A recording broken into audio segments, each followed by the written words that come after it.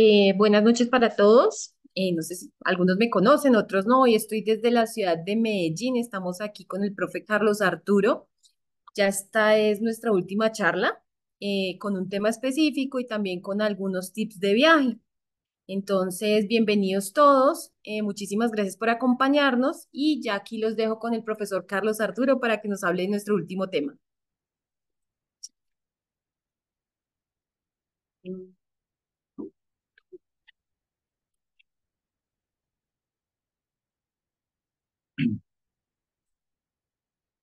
Bueno, eh, bienvenidos todos. Estamos, sí, estamos hoy, hoy, hoy en mi casa.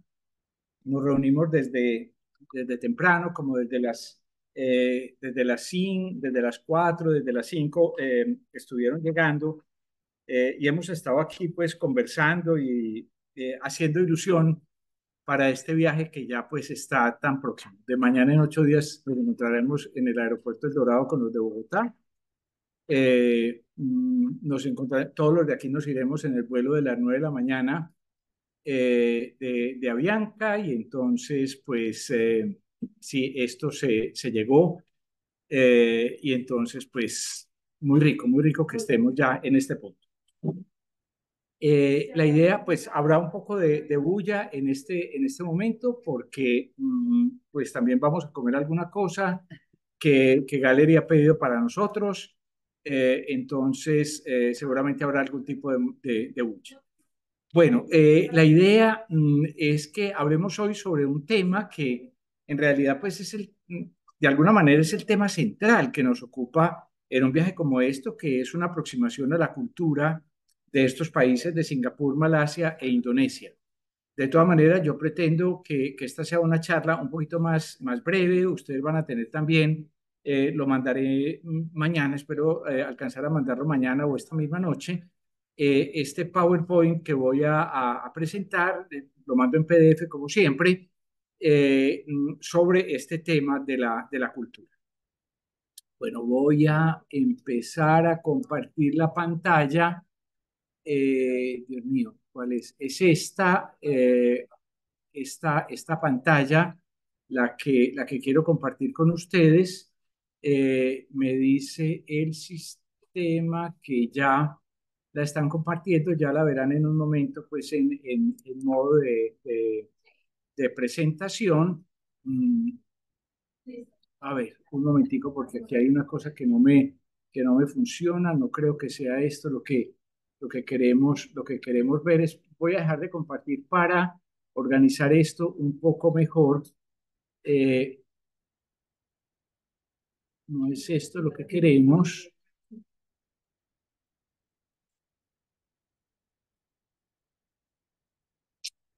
Eh, no.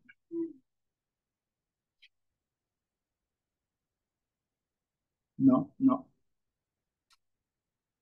No sé, no sé qué me está, qué está pasando aquí. Eh, eh, un segundito, yo aclaro esto porque mm, mm, ese, ese, no, este sí es el tema, este es lo que nosotros vamos a hablar, pero lo que no quiero es que se presente como eh, esta forma de presentación, eh, lo que está apareciendo es una forma de presentación eh, de, de, en la cual aparece este asunto, este asunto que aparece aquí, que es, eh, a ver, configurar visualización, espérenme un momentico, intento cuadrar esto. Mm.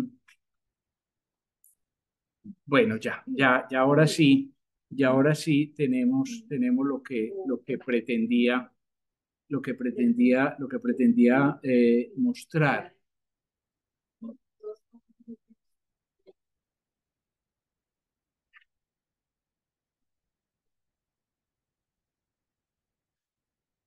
Bueno, entonces ahora sí, vamos a, empezar a compartir la pantalla y vamos a ver esta, eh, esta, esta presentación que es la que, eh, la que nos interesa.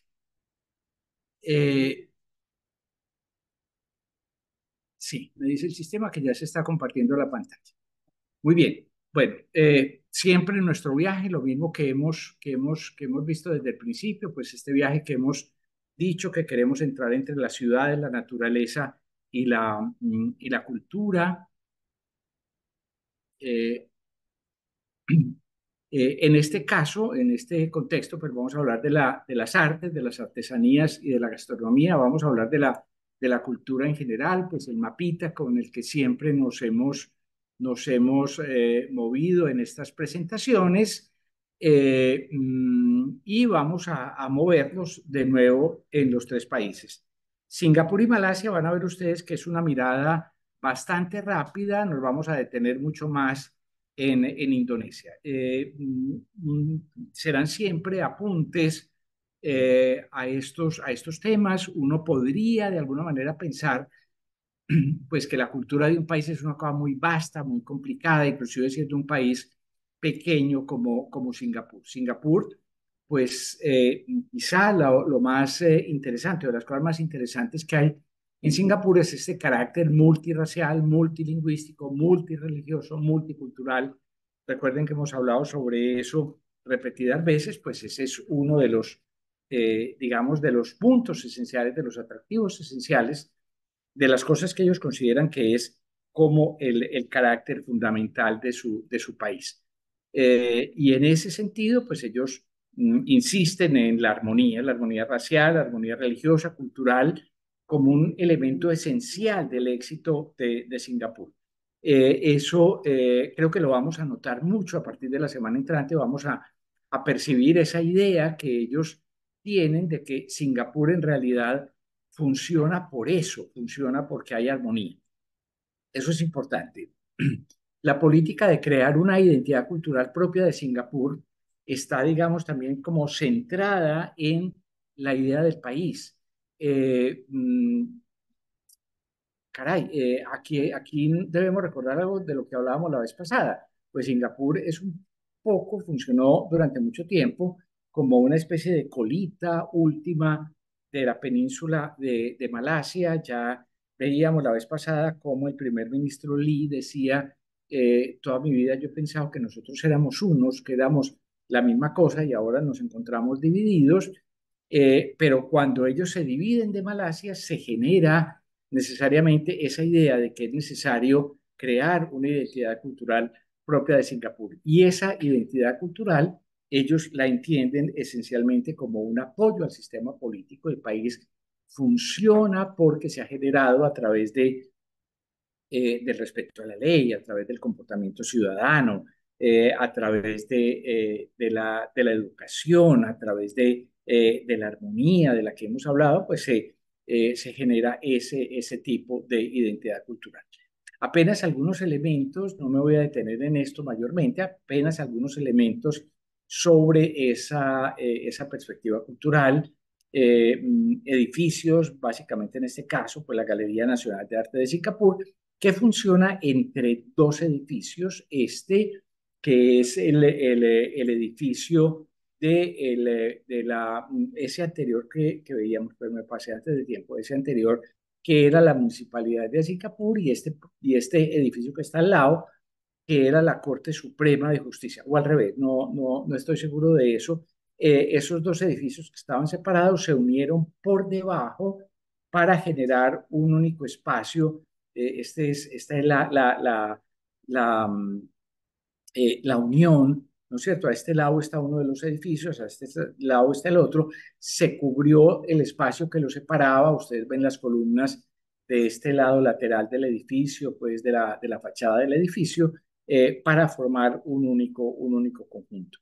Eh, mm, pero, pero ese hecho de que se reivindique el, en, en una galería nacional el arte de Singapur, pues es importante. El arte ha funcionado eh, toda la vida eh, para bien y para mal, eh, digamos, mm, como, como una definición de el carácter cultural de los pueblos. Cuando digo para bien es que todos los pueblos queremos tener una cultura, ¿no es cierto? Queremos ser nosotros mismos y para mal en el sentido de que en, en, muchas oportunidades a lo largo de la historia, pues eso ha funcionado como un ejercicio de poder. en buena medida, pues también eso se repite, se repite aquí.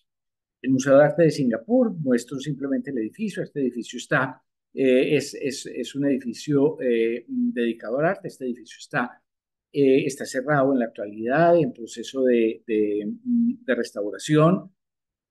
y entonces, pues, por lo menos, pues hasta este momento, entiendo, pues hasta hace, unas, hasta hace unos pocos días era imposible de, visitar. Creo que no está restaurado, pues, en realidad todavía. Esto eh, mm, este, eh, este museo, el, el, Museo Peranacan, como ven ustedes allí, este Museo Peranacan es un museo eh, muy interesante que tiene que ver con esas que se llaman las culturas del estrecho, ¿no es cierto? Como, recuerden, hemos hablado mucho de ese, de ese, de ese asunto, de ese problema del estrecho de Malaca, tan importante para las potencias colonialistas europeas y demás, pero también para la mm, definición de la cultura de estos pueblos. Y este, y este, y esto que es un antiguo palacio eh, de, de Singapur, pues está dedicado a, eh, a las culturas, a las culturas del estrecho. Un, eh, un, un museo muy grande, esto, pues aquí vemos tres pisos, pero eso tiene sus sótanos y demás, en la parte posterior tal vez tiene pisos, pisos más altos, es, es un museo realmente muy complejo. Y este museo que nosotros visitaremos, que es el Museo de Artes y Ciencias, eh, que, mm, pues, eh, digamos, habla mucho más del contexto, del contexto contemporáneo. Eh, la explanada, los teatros, los teatros de la Bahía, estaremos pues en esta, en esta explanada, nos moveremos para, por aquí, pues es uno de los aspectos más interesantes de la ciudad. Eh, nosotros vamos a visitar el barrio chino. En el barrio chino, el centro del barrio chino es este templo, eh, un templo, eh, un templo, un templo chino, un templo confuciano, un templo budista, perdón, que está centrado en el, en el diente de Buda, mm, en un diente de Buda, esa, esa historia de estas reliquias en el contexto budista, pues es muy interesante por todo el mundo eh, los, los pelos de Buda, los dientes de Buda, los trocitos de hueso de Buda, pues son eh, eh, alrededor de eso, son las reliquias alrededor de las cuales se hacen, se hacen estos, estos templos. Nada extraño a lo que nosotros, a lo que nosotros conocemos, pues cualquier iglesia que tenga una reliquia de la, de la Vera Cruz, de la verdadera cruz de Cristo, uno de los clavos de, la pasión o como existe, por ejemplo, en Francia. Recuerden ustedes, pues,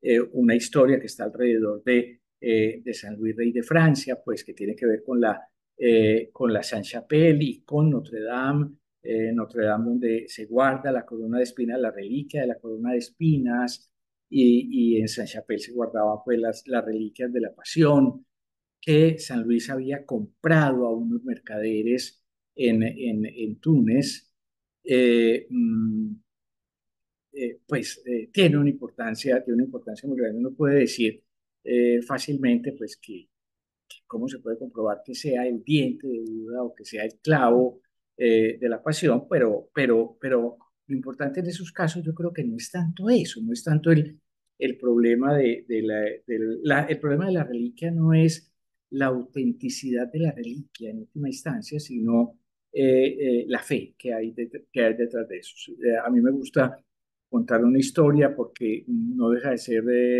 no deja de ser curiosa, no deja de ser simpática. Una vez estábamos en el, en el Palacio de Topkapi en, en Estambul y había en, en, el Palacio de Topkapi hay un área, digamos, de reliquias y en esa área estaba el cráneo de San Juan Bautista. Al guía, yo le dije al guía, yo le dije al guía, no, mira, pero es que yo, yo ya vi en el Monte Athos el, el, cráneo de San Juan Bautista, como es que aquí está el cráneo de San Juan Bautista. Y el guía me dijo, no, es que este es de cuando estaba chiquito. Ah. Eh, entonces, no importa, no importa, en realidad, en realidad, en última instancia, bueno, cráneos de San Juan Bautista, por lo demás, fuera de esos que yo conozco, que yo, que yo estoy mencionando aquí, en Roma hay otros dos.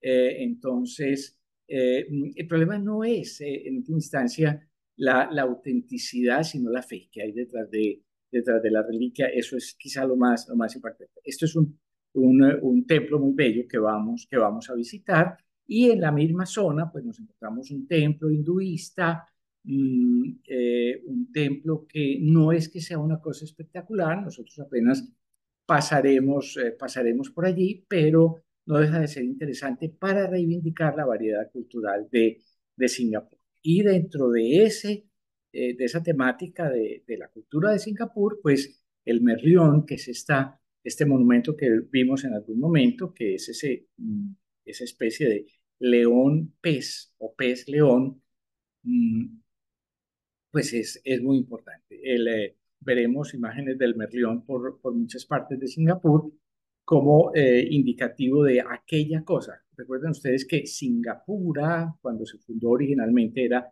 la ciudad de los leones, pero es una ciudad del mar, ¿no es cierto? Es, no es una ciudad de leones, es una ciudad de peces. Entonces, eh, esa mezcla, pues aquí tiene, cobra todo su, todo su sentido. Bueno, eh, mm, en Malasia eh, voy a mencionar muy brevemente, pues, unos asuntos, ni siquiera voy a mostrar imágenes particulares, porque en realidad ya las hemos visto, las que pudiera mostrar, pero eh, quisiera señalar que Malasia es, es una mezcla de culturas muy notable, ¿no es cierto? Hay unas culturas originarias que yo sigo reconociendo, ahí había una gente que vivía desde hacía muchísimos siglos, eh, esas, esos, esos pueblos, digamos, aborígenes. En la actualidad se habla de culturas originarias. Esa historia de las culturas originarias, de los aborígenes, como entre nosotros, sí. Si, si hablamos de los indios o de los precolombinos, no sé qué, eso se ha vuelto un problema de, de, eh, de ¿cómo, se puede, ¿cómo se puede decir? De, de, de, de, hablar lo políticamente correcto, ¿no es cierto? Cuando se habla de de indios, entonces eso es muy malo. Si hablamos de los negros, entonces alguien dirá que eso es muy ofensivo.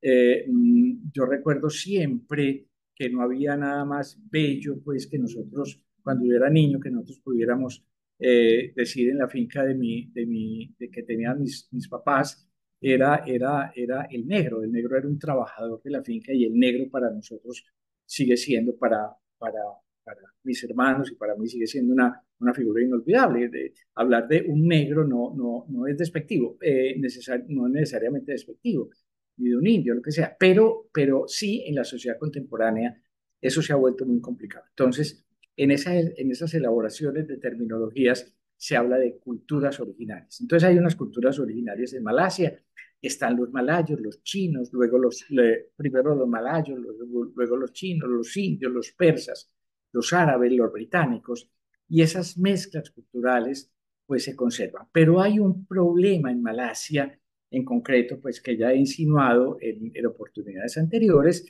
y es que eh, Malasia decidió desde hace, desde hace años, desde hace más de 50 años, decidió que había una cultura malaya, eh, que, los, que los malayos eran la cultura real, la cultura, eh, digamos, más eh, profunda del país, una cultura a la que se, eh, en la que se aceptaban las influencias árabes, eh, evidentemente por la influencia del, del, Islam. y se aceptan las influencias chinas e indias en la medida en la cual, dicen, dicen las normas, sean pertinentes. eso, en última instancia, pues nos suena, por lo menos a nosotros, nos suena como la idea de la afirmación de una cultura oficial, esa cultura malaya, eh, y eso definido desde la perspectiva de la política, pues tiene, tiene, sus, eh, tiene sus inconvenientes. Eh, piensen ustedes lo que sería definir la cultura oficial de Colombia mm, a partir de decir, de, decir ¿qué? ¿Qué podríamos decir? ¿Que la cultura oficial de Colombia es la cultura andina o que es la cultura eh, caribe, o que es la cultura del Pacífico, o que es la cultura de los de, los, de, la, de la Amazonia o de los llanos orientales, ¿no es cierto? Eh, no sé si me explico, es, es muy complicada, son muy complicadas esas definiciones en el contexto, en el contexto de la cultura. Si pensamos en una, en una saquémoslo un poquito de nuestro contexto, ¿qué es la cultura española? La cultura española, ¿qué es? ¿Es, es, eh, es Galicia o es, o es Castilla o es Cataluña o es el País Vasco o, qué es. Llegar a definir esto de esta manera tiene sus implicaciones. Y allá pues es un poco complicado. En realidad los textos culturales oficiales que se consideran en Malasia son solo los textos, los textos malayos.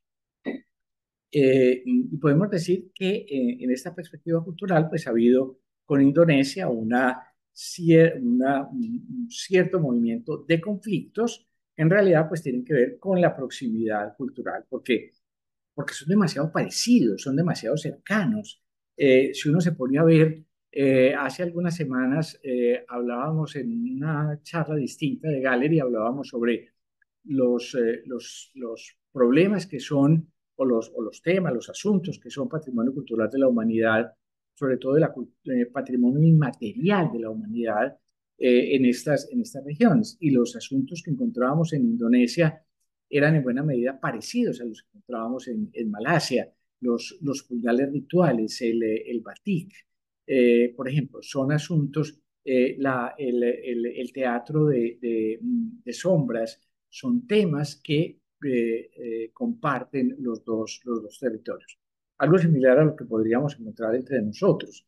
Puede que haya muchas cosas que nos diferencian de, de eh, por ejemplo, de Venezuela, pero hay muchas cosas que, que son parecidas, ¿no es cierto? Muchas cosas que nos unifican, también inclusive en esa perspectiva del patrimonio inmaterial, como son, por ejemplo, los cantos de los llanos, que son patrimonio inmaterial de la humanidad en Colombia y en Venezuela, son, son los mismos en ese, en ese sentido. Bueno, y aquí han generado realmente conflictos. Me voy a detener un poquito más en Malasia, un poco más largamente en Malasia, eh, perdón, en Indonesia, para señalar, eh, primero, recordar asuntos de los que hemos hablado. Hay una cantidad enorme de etnias, por lo menos 300 etnias que tienen culturas y tradiciones diferentes. Nosotros nos vamos a mover en algunas de esas, eh, de esas culturas y de esas, de esas tradiciones eh, además de los rasgos particulares de esas etnias, de esas culturas, pues eh, Indonesia tiene eh, influencias muy grandes, así como veíamos ya en Malasia.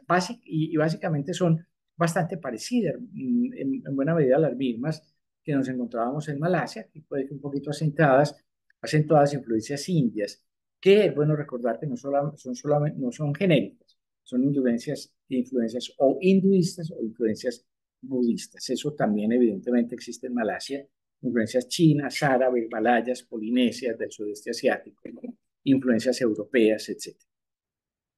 Eh, es importante tener en cuenta esto, yo creo que lo vamos a vivir, lo vamos a percibir, eh, como ocurre en todo el mundo, muchas tradiciones se están convirtiendo en mero eh, atractivo turístico, eh, uno puede preguntarse, por ejemplo, si el Carnaval de Río eh, conserva la autenticidad de los orígenes o, ya es fundamentalmente pues, un atractivo turístico y eso ocurre, ocurre también aquí. Y yo creo que lo vamos a percibir sobre todo en Bali, eh, mm, pues no solo porque allá vamos a estar muchísimo más, sino porque es pues quizá el, lugar donde ese problema se puede vivir más fuertemente en, en Indonesia.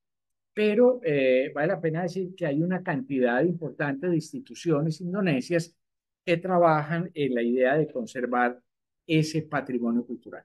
Muy rápidamente yo quisiera señalar algo que nosotros no vamos a ver, pero que me parece que es importante que lo, que lo, mencionemos, que lo mencionemos, que es la cultura paleolítica, la cultura, la cultura de eh, paleolítico significa de la piedra antigua, eso es esas son las, las, las, son las culturas de los pueblos que todavía no han descubierto la agricultura, pueblos que son nómadas, pueblos que, que, están buscando, eh, eh, pueblos cazadores y recolectores, ¿no? que están buscando eh, los,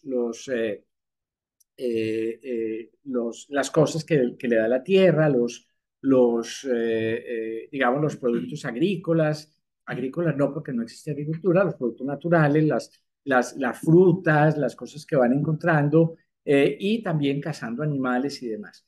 Eh, estamos hablando del año 10.000 para atrás. Eh, y en ese contexto de, la, de, la, de, las culturas paleolíticas, pues nos encontramos, en el contexto europeo en concreto, nos encontramos una cantidad de, de manifestaciones pues, que son muy, muy, muy importantes dentro de la historia que, nos hemos, que, que nosotros nos hemos que nos hemos aprendido, digamos, de alguna manera, que la cueva, la cueva de Lascaux, la cueva de Altamira, esas cuevas importantísimas de la prehistoria, entre nosotros, evidentemente, por ejemplo, Chiribiquete, que corresponde a ese tipo de contextos. Pero el, el, el, el problema es que cuando llegamos a Indonesia, los tiempos se, se, se disparan, ¿no es cierto? Las, las, los, los, los periodos son, eh, digamos, realmente eh, muy extensos. Uno, uno puede pensar que la cueva de Altamira en España pues puede tener unos 20.000 años, una cosa así por el estilo. Esas, eh, hay, hay, distintos momentos de intervención, pero digamos unos 20.000 años. Pero cuando nos movemos en, en, en, Indonesia, nos encontramos pinturas que tienen hasta 52.000 años. Ahí hay un momento pues que es sumamente eh, sumamente antiguo y es muy interesante porque normalmente eh, tendemos a pensar que, que, que, todo nos viene de Europa, por un lado, o que eh, todos los pueblos salieron como salieron de África y como que se fueron para Europa, y resulta que no, ¿no es cierto? Estos pueblos tienen una antigüedad mucho mayor, estas intervenciones tienen una antigüedad mucho mayor a las que nos podemos encontrar en otros, en otros territorios una antigüedad pues enorme. Las eh, pinturas paleolíticas más antiguas que en este momento se conocen son las de Indonesia. ¿no Nosotros no las vamos a visitar, eso queda, eso está en las Islas Célebes, nosotros no vamos a ir allá, pero eh, eh, son las más antiguas que, que, conocemos. Un segundo tema que me parece que es muy importante, que, que cubre una gran parte de la historia que nosotros íbamos a visitar, son las casas comunales. ¿Qué son las casas comunales? Son este tipo de construcción. Las vamos a ver eh, especialmente en Sumatra. Existen también en la isla de Borneo, pero nosotros no vamos a ir a Borneo, las, vamos a ver en, en, Sumatra, básicamente en el, en el lago Toba, ¿no es cierto? En esa, en esa, en esa zona alrededor del, del lago Toba. Eh, estas, estas construcciones, eh, estas casas tienen este, este tipo, este tipo de, estructura, ¿no es cierto? Son unas eh, son unas casas que están construidas sobre pilotes. En la parte de abajo se guardan los animales, eso es, eso es muy frecuente. En la Edad Media Europea también se guardaban los animales en la parte de, eh, baja de las casas, porque, eso, ah, porque los, el, los animales abajo contribuían al calor de la casa, ¿no es cierto? Aumentaban el calor de la casa. Pero bueno, aquí se guardan los animales, las, las cosas, pues digamos, de, de, de uso común y demás, y se sube al segundo piso, pero el segundo piso no es la casa de una persona, ¿no es cierto?, sino que es una casa comunal. Esas casas normalmente tienen una especie, digamos, de corredor a un lado, que normalmente es, digamos, mirándolo como estamos mirando esto, es a, nuestra, a nuestro lado izquierdo, tienen como una especie de corredor y eh, a ese corredor se abren las, las distintas casas, las digamos, las, las, las, los, los recintos de las distintas familias. Normalmente, en muchas oportunidades en estas casas, la cocina es comunitaria. Entonces, hay una cosa que es muy interesante que tiene que ver con el, eh, con el, con el carácter de estas, de estas comunidades donde, donde, eh, donde muchas cosas se, eh, se, desarrollan, se, desarrollan en, se desarrollan en común. nosotros vamos a ver de manera concreta pues las que hay en la, en el, como digo, en el, en el lago Toba, en concreto estas, eh, esta que estamos viendo aquí es una población que se llama Ambarita, eh, mm, son sumamente interesantes eh, las, las decoraciones que tienen estas, estas casas. Claro, aquí ya es evidente, pues ustedes han visto, ven aquí pues cómo se han cambiado los antiguos techos de paja por techos metálicos y demás, eh, mm, pero, pero es, eh, sigue siendo básicamente eh, la estructura pues, de, una, de una gran, muy particular, una cosa realmente muy, muy especial que habla de la estructura de la sociedad de, de, la sociedad indonesia y que creo que nos puede llamar la, atención. Creo que es importante que, que nos detengamos en eso. Aquí se puede ver un poco la decoración que tienen todas estas, estas casas, la manera como se organizan, normalmente se organizan así, ¿no es cierto? Pues en, en, en, en conjuntos. Eh, no es normal que una casa de estas esté simplemente sola, sino que son parte de pueblos, eh, conjuntos de pueblos que, aunque nos parezca extraño y inclusive podamos pensar que es un poco risible, eh, pues son reinos, o eran reinos, reinos de 20 casas, pero eh, reinos eh, de comunidad, pues en esas 20 casas podían vivir cualquier cosa, podían vivir 80 familias o 200 familias, yo no sé, mm, pero lo que, lo, lo y, y, se, se, organizan en todo. El, digamos, la idea de que sean reinos significa que, que la comunidad encuentre una manera de organizarse, de organizarse allí. Bueno, esto es el lago Toba, simplemente para decir que esa estructura de las casas comunales se sigue repitiendo también en, en, en, en estructuras que son bastante más modernas, inclusive los palacios. Este, este palacio nosotros no lo vamos a ver, pero lo traigo simplemente a cuento para señalar que es, eh, que es eh, un, un, palacio, un palacio real de Sumatra del siglo XVII, eh, destruido y reconstruido en distintas oportunidades. Estos palacios, estas casas, son casas de madera con techos de paja. Para evitar eh, los, eh, los, incendios, pues es cuando es que se han cambiado los techos de paja por, por, por, por, techos de metal, con lo horrible que eso nos puede parecer, evidentemente, pero es, es, buscando evitar ese, ese, ese asunto. Eh, esos, este tipo de palacios, este tipo de casas, pues eh, funcionan como, como he dicho. Aquí tenemos esa, ese, ese, asunto que, he señalado, pues como el corredor, eh, al lado del cual aparecen a nuestra derecha, en este caso, pues las, las, las, las habitaciones que funcionan en ese sentido. Pero hablando de palacios, pues nos vamos a encontrar, lo vamos a visitar, el Cratón de Yoyakarta, el Palacio del Sultán de Yoyakarta, donde me quiero detener un momento. Eh, esta imagen ya la había mostrado para señalar un asunto que creo que es, que creo que es interesante. Eh, quien mira esta, esta estructura del palacio, del, del cratón de Yoyakarta, posiblemente eh, pensará que esto tiene una estructura parecida a los palacios chinos. Quiero decir, si uno piensa en la ciudad prohibida de Pekín, funciona relativamente de la misma manera.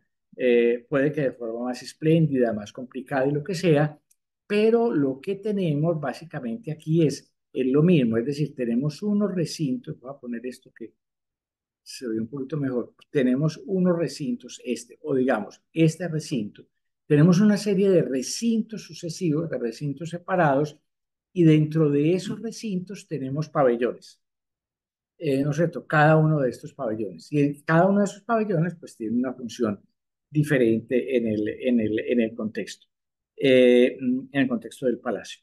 Eh, esa no, no es una gran construcción como estamos acostumbrados pues en los, en los palacios occidentales, una construcción gigantesca como el Palacio de Buckingham, una cosa por el estilo, o el Palacio de Versalles. Aquí tenemos una sucesión de, de, de, estructuras mucho más mucho más frágiles, si se puede decir así, mucho más abiertas, en general, pues con, al, eh, correspondiendo a, la, al, a la estructura del clima de la región, pues eh, esas, esas estructuras también son más abiertas. Ya habíamos hablado de este cratón, eh, de este, perdón, de este palacio de agua, de el, del cratón de Yoyakarta, del palacio del sultán de Yoyakarta, que está recién restaurado.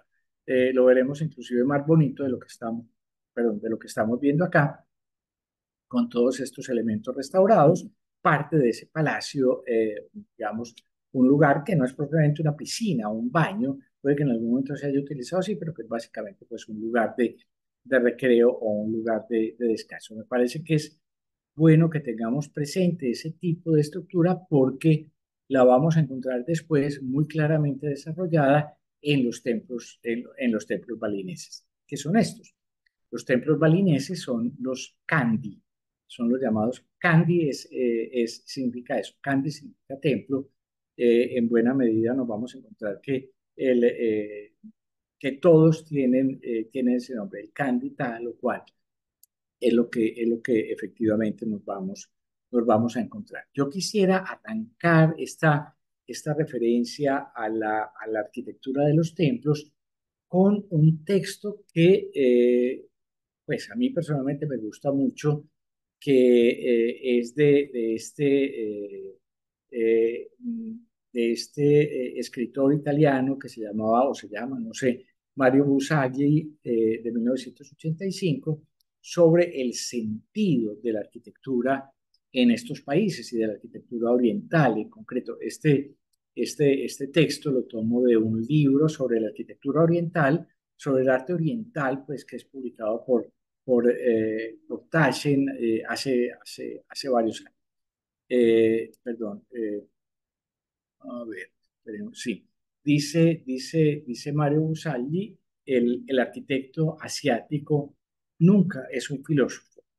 Eh, es decir, nunca parte de unas teorías y de unas cosas, de unas especulaciones, nunca es tampoco un erudito, pero a pesar de eso, sus trabajos revelan siempre una honda reflexión filosófica y religiosa, de la cual proviene su trabajo creativo, su sentido de la, de la, de la estética.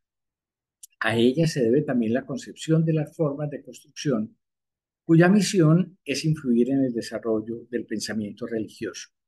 A su vez, el pensamiento religioso ofrece una visión del mundo, con lo cual el hombre no tiene necesariamente que prestar atención a determinados aspectos y problemas si carecen de importancia, y por ello no hay que tenerlos en cuenta. Es decir, el, un poco puede pasar lo mismo que en un templo cristiano, pues uno no tiene que pensar cuando entra a una basílica o lo que sea, pues en todas las implicaciones eh, teológicas o conceptuales que eso puede, eso puede tener.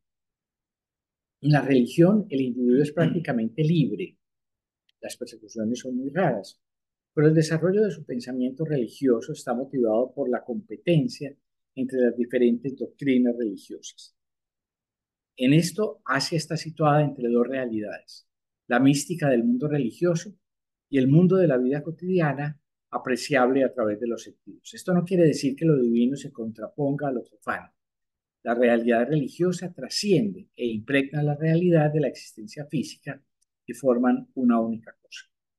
Eh, sobre eso habíamos hablado en, su momento, en, algún momento, cuando hablábamos, eh, bueno, no sé si, aquí o en aquella charla sobre, las, sobre el patrimonio cultural de la humanidad, eh, en, el, en, el, en el punto de partida, digamos, en el, en la, en el sustrato conceptual, filosófico, si quieren ustedes, de, eh, de, la cultura de Bali en concreto, que es eh, la idea de la armonía. la felicidad de la armonía, piensan los balineses, la, y la armonía es, es triple, es la armonía con la divinidad, la armonía con la naturaleza y la armonía con los demás. ¿no es cierto? Si uno está en armonía con Dios, está en armonía con la naturaleza y está en armonía con los demás, es feliz. Eso, en eso, en eso consiste la, la felicidad. Y eso es un poco lo que se plantea aquí.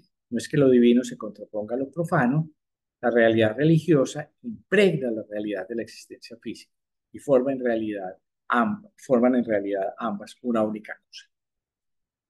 Eh, nos vamos a encontrar en Bali con mucha frecuencia este tipo de estructuras de templos, estas estructuras que se llaman Meru, estas especies de, de torres que nos vamos encontrando aquí y que mm, tienen una significación, digamos, religiosa particular. Entre más, eh, eh, cada una de esas, de esas torrecitas, pues, eh, está colocada, cada una de esas torrecitas es en realidad una pagoda que está puesta sobre la tumba, sobre los restos de un, eh, de un, de un santo, de un hombre religioso eh, especial y demás, más santo, más religioso, más especial en la medida en la cual más techos tenga, ¿no es cierto? El, el, la, la, la, estructura.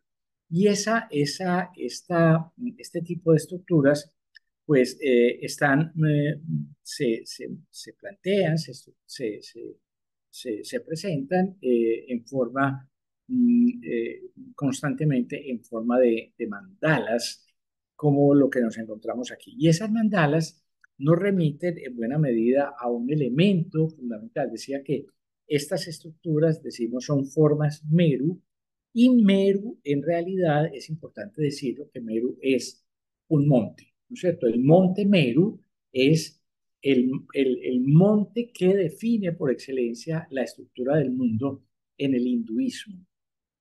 Eh, el, el, mundo, eh, en el hinduismo, el mundo se, se, construye alrededor del monte Meru.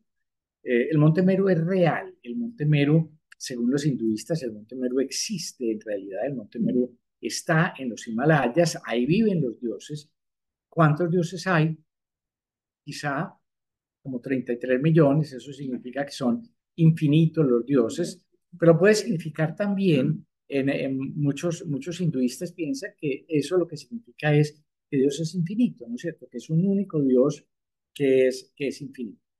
¿Cómo es el Monte Meru? El Monte Meru es gigantesco. El Monte Meru mide 450 mil kilómetros de altura, cuando la Tierra tiene un diámetro de 12.800 kilómetros. Es decir, eh, esto, el, el, el, bueno, de la, de la, mm, de la Tierra a, a la Luna hay 300.000 kilómetros. El Monte Meru es más grande que de la Tierra a la Luna.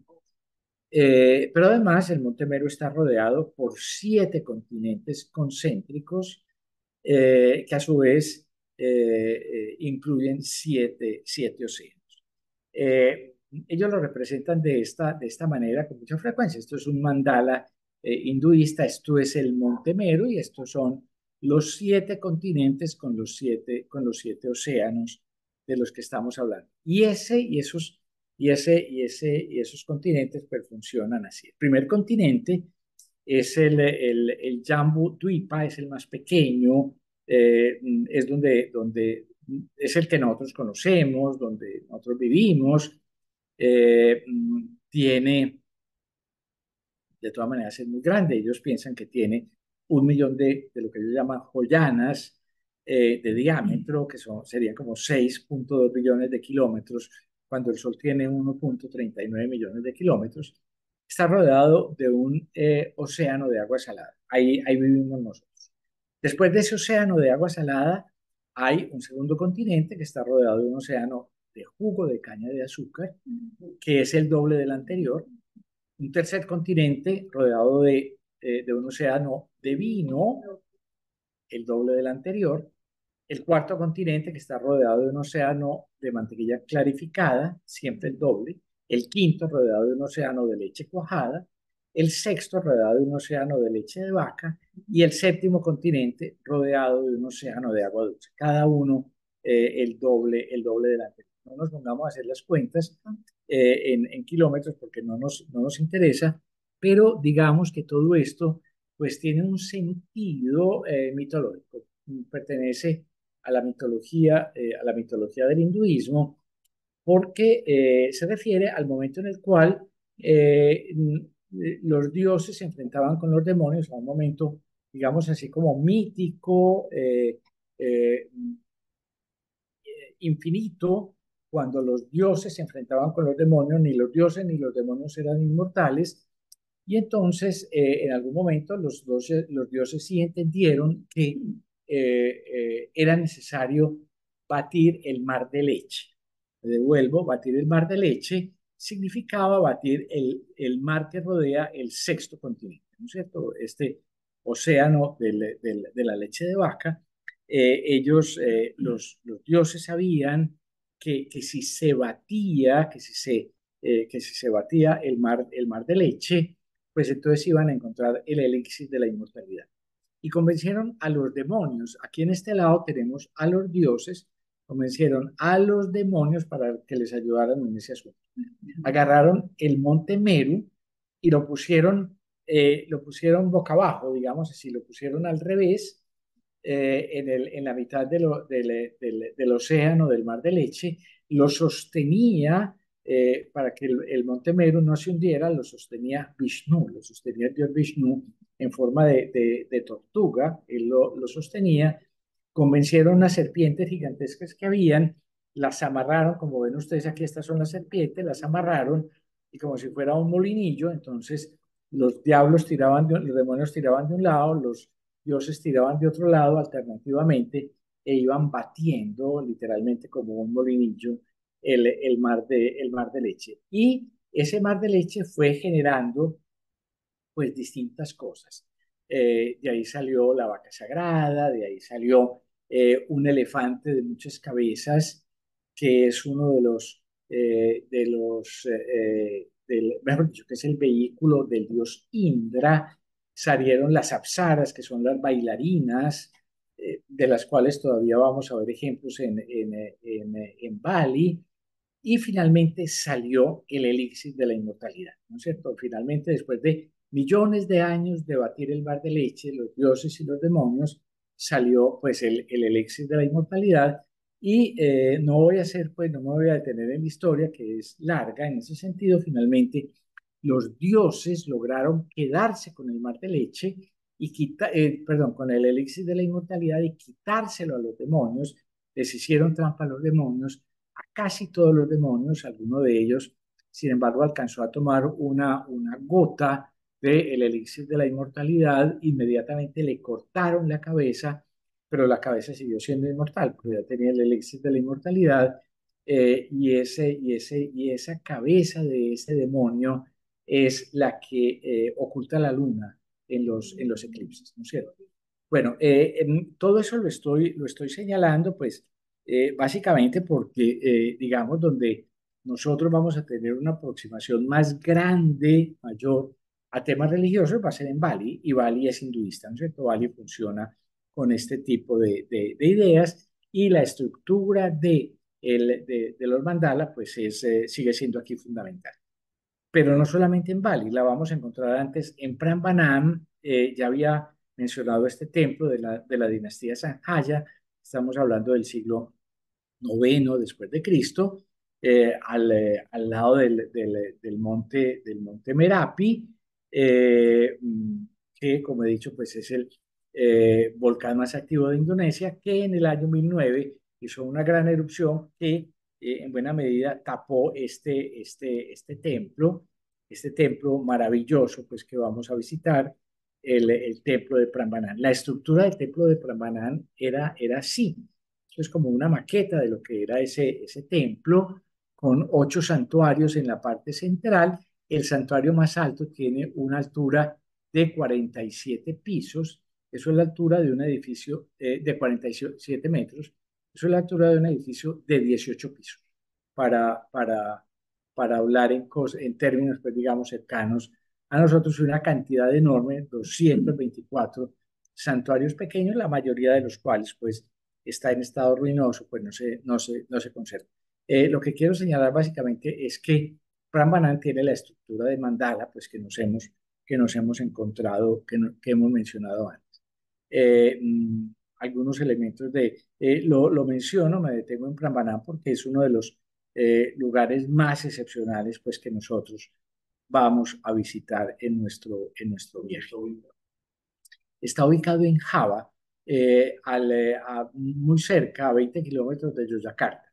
El, es el, ese día vamos a visitar el, el, el, el Cratón, el templo de, el Palacio del Sultán y el Templo de, de, de Prambanan. Eh, mm, una cosa pues excepcional, extraordinaria, hay templo, esos templitos laterales, pues algunos de ellos van siendo restaurados, pero no es un asunto realmente, realmente fácil, no es un asunto realmente sencillo. Este es eh, Prambanan en el, en el fondo y luego pues aquí en primer plano nos encontramos este, este templo de Sojivan, que también visitaremos, que está muy bien restaurado, que está muy bien conservado, que ya no es hinduista, que ya es budista. Esto, esto eh, digamos, esta historia de la mezcla de hinduistas y budistas en esta zona, en esa época. Ahora todos son musulmanes, ¿no es cierto? Esa época, eh, pues era realmente, eh, realmente muy importante. No me detengo en la historia de la, de la reconstrucción, de estos, de estos templos que estaban caídos, eh, empezaron a ser reconstruidos muchos de ellos, en concreto este empezó a ser reconstruido eh, y hubo un gran terremoto que volvió a tumbar lo que ya se había construido, entonces solamente en el año 2011 pudo ser finalmente reconstruido. Y eh, también el templo de Borobudur, que corresponde a esa dinastía Sailendra budista, 100 años anterior al templo de, de Prambanan, que es esto que básicamente es también un, un, mandala, ¿no es cierto? Que está construido también en forma, en forma de, de, mandala. Eh, como aparece aquí, esto pues es literalmente, es el plano de, de, eh, de, de, de, eh, de, de Borobudur, pero corresponde pues a esa estructura de, de, de. Se, se, utilizó una, una colina, no es, digamos, todo, pues desde, no, no, es, no está construido en una llanura, se construyó en una, en una colina y eh, ahí se fueron estructurando pues los distintos, los distintos pisos eh, en, un, eh, en un proceso que sin embargo cuando se descubrió, ya cuando se, se, se desenterró porque había sido cubierto por ceniza volcánica del Monte Merapi, eh, cuando se desenterró, pues estaba eh, en, en, malas condiciones por las filtraciones de agua básicamente. Lo mencioné en algún momento, la UNESCO, después de la, eh, de la, mm, del salvamento de los templos, eh, eh, de los templos de Abu Simbel en Egipto, emprendió el salvamento de Borobudur. Hizo el, el, salvamento de Borobudur, de Borobudur, veremos las, las, allá las imágenes de las fotografías de todo el templo, realmente desmontado piedra por piedra, piedra por piedra numerada y almacenada para, eh, para construir pues los desagües y todas las cosas técnicamente que permitieran conservarlo eh, eh de manera perfecta. Está perfecto, es, es perfecto si quieren ustedes ese, ese.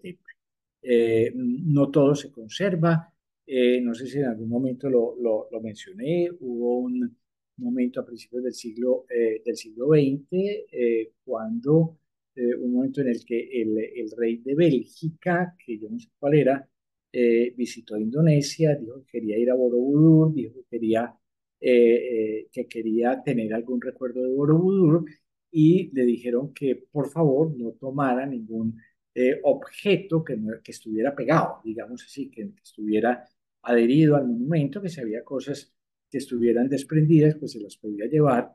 Eh, y, y, y, según dicen pues los, la, las crónicas, fueron carruajes, pues fue una, eh, eh, una caravana enorme de carruajes con estatuas de Borobudur que, este, que el rey de Bélgica se llevó pues en ese, en ese momento. Eh, puede, puede, que fuera Leopoldo, Leopoldo que tenía, que, que era, que era, que era cosita seria. Perfecto, sí, es la época, es la época del rey Leopoldo de, de, de Bélgica. Bueno, rápidamente, pues imágenes de Borobudur, que algunas de las cuales ya hemos, ya hemos visto, será seguramente eh, Prambanán y eh, algunos de los sitios más extraordinarios que nosotros vamos a visitar.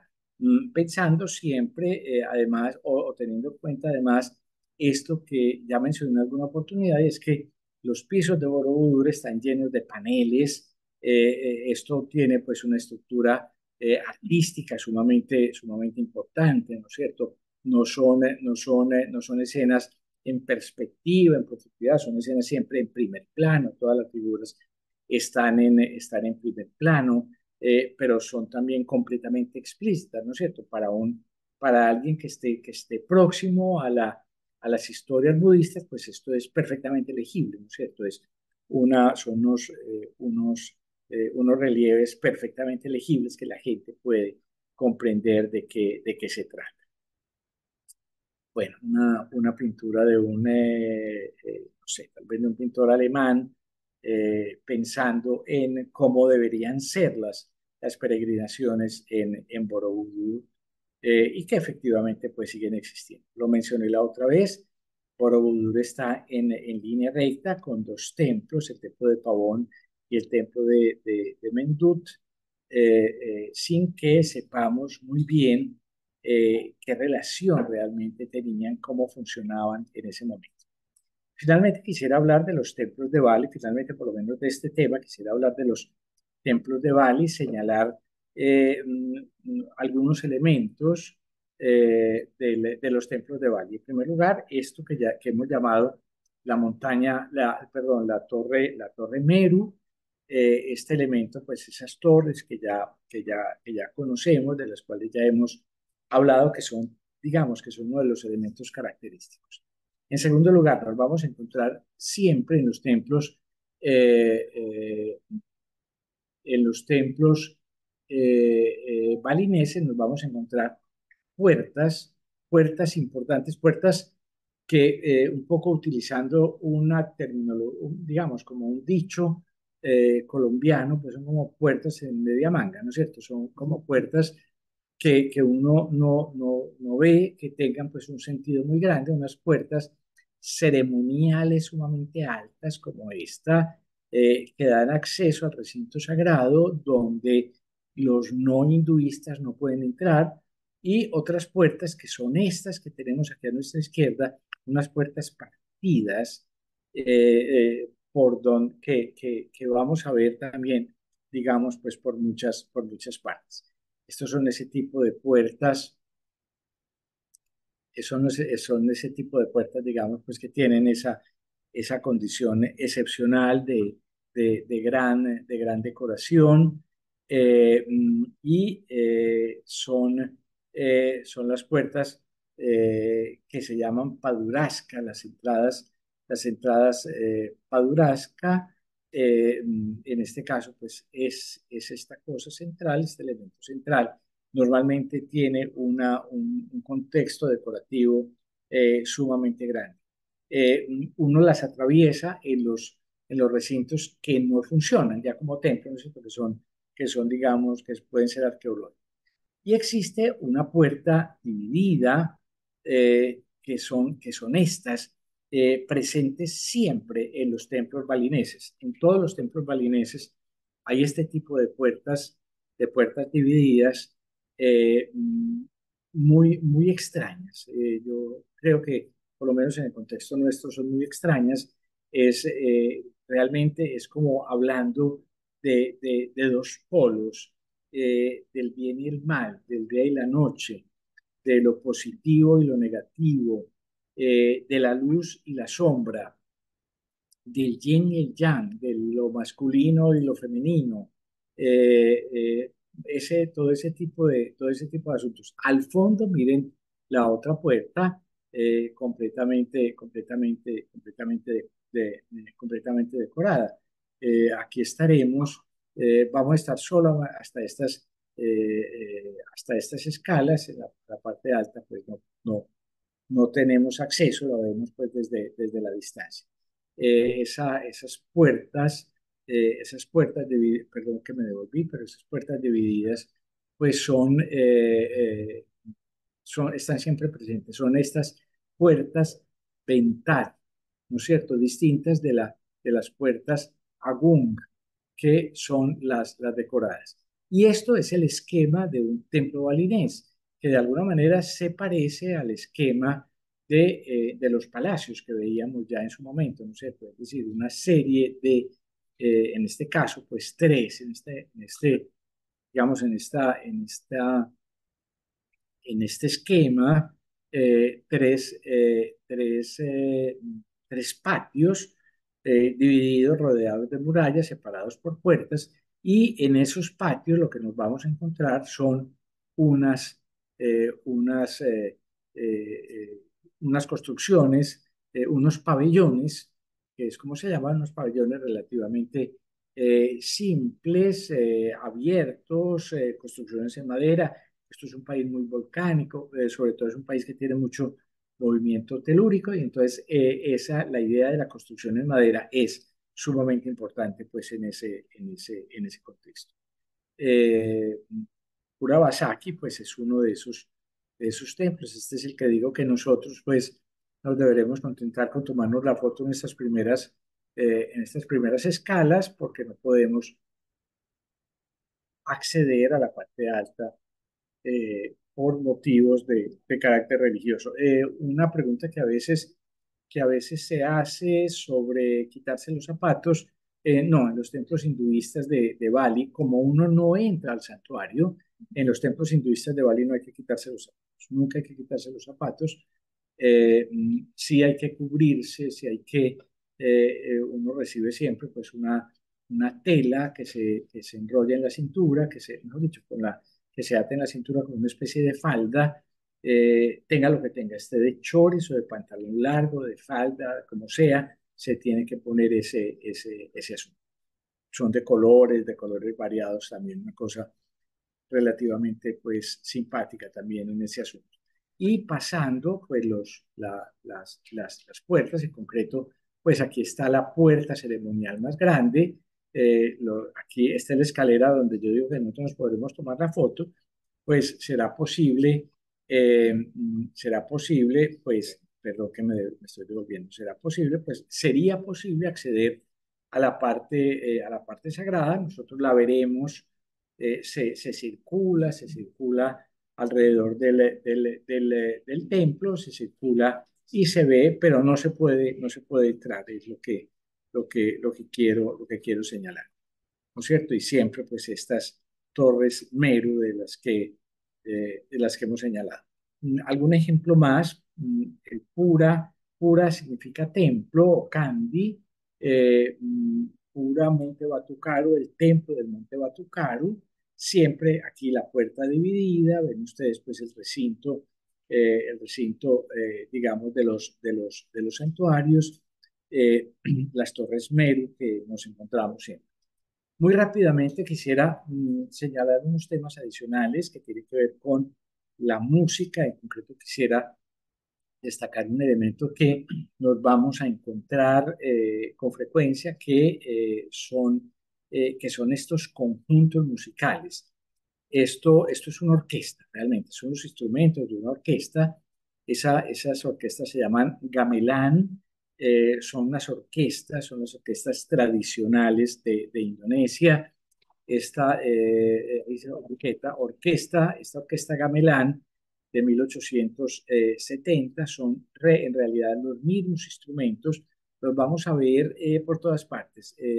Eh, aparecen en Borobudur, aparecen, aparecen representados en Borobudur eh, y aparecen, por ejemplo, eh, inclusive en los, en los, en los, en los palacios, están, están así representados, ¿no es cierto? Son básicamente instrumentos de percusión en la mayoría de los casos, como, como, como xilófonos por una parte, pero también elementos de, de, eh, de, metal, ¿no es cierto? Como, como, ¿cómo se llama? Como tambores de metal eh, eh, y en buena medida, pues todo funciona alrededor de esa, de esa orquesta. Es la orquesta fundamental en el contexto, en el contexto, en el contexto balinés, en el contexto indonesio, perdón. En, el, en el cratón de, de, de, de Yoyakarta veremos eh, algunos ejemplos de esos. Están ahí expuestos unas, unas orquestas gamelán muy, muy bellas. Eh, danzas, no voy a detener en esto porque existen danzas eh, de distintos órdenes, danzas que son perfectamente míticas, perfectamente, digamos, como herméticas desde una perspectiva religiosa, y otras que son más, digamos, más fiesteras y demás, nosotros posiblemente de lo que más vamos a ver eh, son estas danzas Legón Cratón, que son las danzas que funcionan básicamente como diversión, que, tienen, que no tienen ese sentido eh, tanto religioso como un sentido de diversión. Y estas, eh, en, estos, en estos casos de Legón Cratón, pues vamos a encontrar la presencia de estas bailarinas que son como aquellas apsaras las bailarinas sagradas que resultaron de el batido del mar de leche, ¿no es cierto? Es como la, la, tradición que, que viene desde, desde ellos. Hay una cosa que es una herencia puramente hindú del sur de la India, que es eh, la expresividad de los ojos, ¿no es cierto? Hay eh, en, en, en, el, en, el, estado de Kerala, en la, en, la, en la India, hay toda una tradición de teatro de este, de este tipo que, que, es, que es importante. Eh, un segundo elemento o un tercer elemento después de la música y de la danza es el teatro de marionetas o teatro de sombras, que es patrimonio cultural de la, de la humanidad, que funciona pues de esta manera, ¿no es cierto? Son unas, eh, son unas son marionetas que se, eh, que se hacen mover detrás de un telón iluminado y entonces lo que, como, como ocurre acá, y esas, eh, y esos esas marionetas entonces eh, se enfrentan, en general representan escenas de los textos sagrados de la India, del Ramayana, eh, perdón, del Mahabharata, eh, sobre todo, bueno, puede que el del Ramayana seguramente también, eh, se, se, representan esos, esas, esas escenas. Uno lo que ve, digamos, ¿qué hay, el, el, en muchas partes hay muchas posibilidades de ver ese tipo de, representaciones. Uno lo que ve un poco es esto. Bueno, y se pueden bueno, existen las más, las más sofisticadas, son en, son en son digamos como en pergamino y cosas por el estilo, pero es posible mm, también encontrarlas, digamos, como objetos artesanales, pues en, en madera, eh, eh, realmente muy, muy bellas. Estas son de, de sombras, eh, bueno, como, como estas, estas funcionan en ese, en ese sentido, pero existe también unas marionetas de este tipo, marionetas de figuras, pero no, que no son de, de, hilos, sino que son de palitos, ¿no sé, que se mueven con palitos. Eh, de nuevo aquí, como se ve en esta imagen, pues el, el, el, el, el que las mueve pues está, está oculto y, y, tiene pues una habilidad sumamente grande en ese, en ese contexto. Eh, bueno, mm, estas son imágenes de ese tipo de cosas. Rápidamente voy a pasar esto, pues la idea de que existen tejidos que son sumamente importantes. Eh, el batik, por ejemplo, pues es patrimonio cultural de la humanidad. Eh, eh, lo vamos a encontrar en Malasia, lo vamos a encontrar en Indonesia, iremos en, a, a, negocios de, de, batik seguramente en, en Java y en, y en, y en Bali.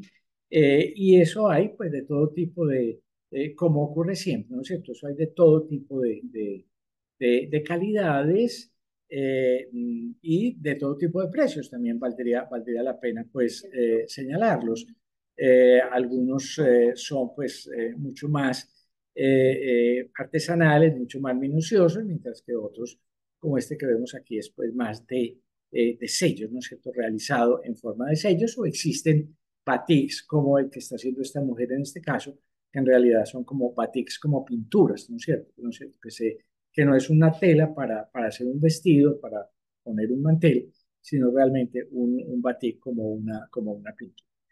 Eh, estos son otros tipos de tejidos, el ICAT, eh, que son estos, estos tejidos de, de, eh, de, de telar, digamos así, más, que nos pueden parecer un poco más tradicionales.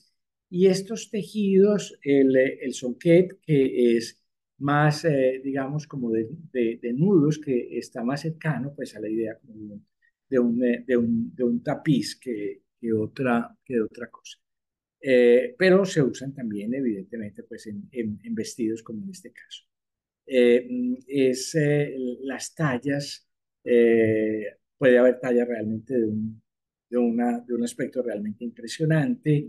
Hay muchos trabajos en madera, por, pues por todas partes, hay otros trabajos, unas cosas muy bellas, que son un poco más eh, complejas o difíciles de encontrar. Yo no, yo no las enví, por ejemplo, pero eh, en libros sí, pero, pero, pero estos elementos que pueden tener un carácter religioso pueden ser, más, pueden ser realmente más, más complicados. Eh, estos puñales, que son de nuevo patrimonio cultural de la humanidad, patrimonio inmaterial de la humanidad, que existen también en, en, en Malasia y en lo que, eh, en los que lo más importante es la hoja, ¿no es cierto? La manera como se trabaja, cómo se trabaja la hoja. Rápidamente, yo esto no me voy a, detener, eh, yo se los voy a mandar, eh, esto para que lo, para quien lo quiera ver, pues esto pertenece a una página de internet que a mí me gusta mucho, que se llama Mochileando por el Mundo. es una pareja eh, de un, eh, un, español y una, y una italiana, él es español, ella es italiana, eh, se llama así, Mochileando por el Mundo, ustedes lo pueden poner en Google y sale inmediatamente eso, y de, las cosas ellos recomiendan lo que se debe visitar, etcétera, y tienen siempre, pues en cada país, una, una, una, un elemento pues de, de, de artesanía. un elemento de, de artesanía. Eh, mm, eh, perdón, de gastronomía. Entonces aquí tienen ustedes, pues, eh, nasi campú, uno de los platos más típicos, comunes y baratos de Indonesia, es una, arroz con carne, con verduras, huevo, etcétera, mm, puede ser salsas, puede ser también vegetariano, es un tipo de plato pues como, como esto eh, o como esto, mm, varía pues es esa, esa, esa mezcla de, lo, eh, de la carne pues con el, eh, con, el, con el arroz que no es necesario decir pues es tan importante y en Bali sobre todo pues es tan, tan, tan importante en diversas presentaciones. el nasi goreng es un plato de arroz frito. aquí podemos decir hay cosas que son parecidas a, la comida china que nosotros, que nosotros conocemos. Eh, mm, es, es, es, muy popular ese tipo de, eh, ese tipo de plato, como ven ustedes, pues se nos puede parecer a cosas que nosotros conocemos. El mi goreng eh, es, es, es, lo mismo anterior, pero con en versión en, en, en, fideos. Mm, son, son siempre, digamos, como como los, los platos más eh, populares y más socorridos. El, eh, el sate eh, o satay son pinchos de carne, es comida callejera en buena, en buena medida, acompañada de salsas, gado gado, una ensalada con brotes de, de, de soya, judías, tofu, col, huevos, patatas, eh, con chips de gambas y salsa de cacahuete, eh, una cosa pues de este tipo. Las lumpias, que son los rollitos de primavera, pues aquí también las llamamos lumpias en muchas, en muchas oportunidades eh, que, que, nosotros conocemos. el plato favorito de los indonesios es posiblemente esto que se llama el bakso, es una sopa de fideos y albondiguitas de carne eh, o, de pescado eh, es este, este, tipo de, este tipo de plato.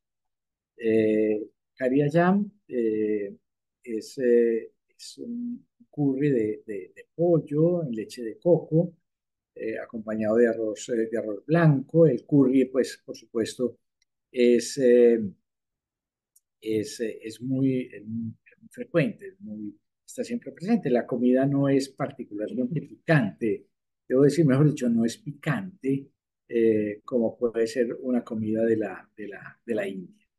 Eh, mm, eh, estos estos pepes incam son como unas especies de, de, envueltos, como unas especies de, de, ¿cómo se llama?, de tamal, por decirlo de alguna cosa, cocinado en, en, hojas, en hojas de plata. Eh, el, eh, eh, esto es plátano frito, el pisang goreng, es plátano frito, es delicioso realmente, es próximo a cosas pues que nosotros, que nosotros utilizamos. Bueno, termino ya simplemente haciendo una recomendación que puede, que posiblemente a alguno le puede parecer muy, muy superficial, pero quisiera de todas maneras recomendar y se lo voy a mandar el libro de Elizabeth eh, Gilbert, eh, que es esta escritora norteamericana de 1969, que es el libro Comer, Rezar, Amar. Eh, comer en Italia, rezar en la India, amar en, en, Bali. Entonces, pues yo se lo recomiendo porque es interesante, es interesante la, la, la, visión de ella, pues no es una, no es necesariamente, no es ni mucho menos pues una escritora eh, superficial o light, ¿no Tiene, su, eh, tiene su, su, contexto pues sumamente interesante y, esa, y ese descubrimiento del amor en Bali pues creo que es sumamente importante. Bueno, ¿qué hay? Sí, muy bien. Bueno, no sé, eh, hasta ahí era lo que les, que, lo que les quería presentar. no sé si hay ¿Hay alguna pregunta de ustedes que están aquí o de los que están en Bogotá que yo pudiera contestar? Eh, yo quería preguntarte, Carlos, si aquellas casas que vimos eh, tienen también alguna característica de reunión espiritual, como si fuera una maloca.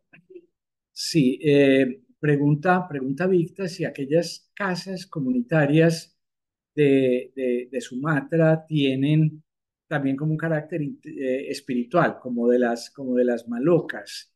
Yo, yo creo que sí, en, en, en ese sentido. Pues yo, hasta donde yo sé, pues no es que ahí haya como una, como una actividad religiosa eh, propiamente dicha en esas, en esas casas comunitarias, pero sí hay un espíritu que me parece que tiene que ver mucho con, eh, con, con, el sentido espiritual y que es un poco lo que pasa en la maloca, ¿no es cierto? Que es que la, que la espiritualidad de la maloca yo creo que en buena medida depende no tanto de los, de las, eh, del, de la, del ejercicio religioso que pueda haber ahí o de, la, del, de lo que se, de lo que se practica ahí, sino del, del sentido de que, de que están reunidos, de que, de que la gente eh, come en común, etcétera. Eh, yo creo que eso sí existe, ¿no es cierto? Creo que a mí, a mí, lo que me parece más interesante de esas casas comunitarias de Indonesia es, eh, es una cosa que, que, eh, que, a ver si soy capaz de decir como de, de, de otra manera, y es que nosotros estamos acostumbrados, mejor dicho, eh, Occidente se, acost se acostumbró, nos, eh, nosotros nos formamos, nos desarrollamos en, eh, en, una, en una historia que eh, a partir del siglo XVII, a partir del siglo XVII en Holanda, eh, porque ahí tienes un punto de partida, eh, inventó de alguna manera, de alguna manera, por decirlo así, de alguna manera, la casa familiar. Eh, ¿No es cierto? Eh, eso no existía antes. Por ejemplo, en el contexto del Renacimiento italiano, la gente vivía en, en el, en, eh, digamos, vivía en una casa mucho más grande, en, un, en una, por ejemplo, pues en, en, algún, algún, en muchos casos, pues en el palacio de una familia, de una familia noble o lo que fuera, y ahí vivían, y ahí vivían, digamos, pues vivía la familia, vivían los, los, los hijos legítimos, los hijos naturales, vivían los, los, los empleados, etcétera, todo eso, y, la gente vivía ahí como si esa fuera su casa. Pero los holandeses en, el siglo XVII se inventaron esa historia que es la casa de familia, ¿no es cierto? Eh, y eso genera, pues, muchas cosas, eso eh, en gran parte determina lo que nosotros somos, eh, para lo bueno y para lo malo, ¿no es cierto? Nosotros somos eh, el, el, el, esa, esa, esa, esa historia de la casa que es, que es como mi mayor refugio y que es como mi mayor tesoro y que es mi palacio, por más que sea un tuburio, ¿no es cierto? Eso porque es mío, eh, es, es, distinto a lo que nos encontramos aquí o lo que nos encontramos en una maloca, ¿no es cierto? Que es ese, esa vida en comunidad que, que se desarrolla ahí.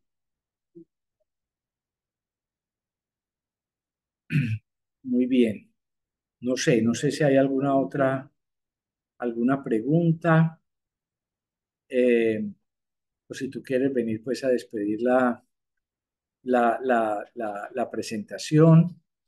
Bueno, ya, ya se nos llegó este, este, este viaje. Nos veremos de mañana en ocho días, pues, para emprender nuestro, nuestro recorrido. Eh, bueno, eh, te, doy, te doy paso para que des, para que des la despedida. Pues a todos muchísimas gracias por acompañarnos. Aquí ya queda la grabación de la charla para los que no nos pudieron acompañar el día de hoy y ya les estaremos informando previamente también horarios también de, de, de encuentro en el aeropuerto y demás y estaremos en contacto. Muchísimas gracias, profe. Muchísimas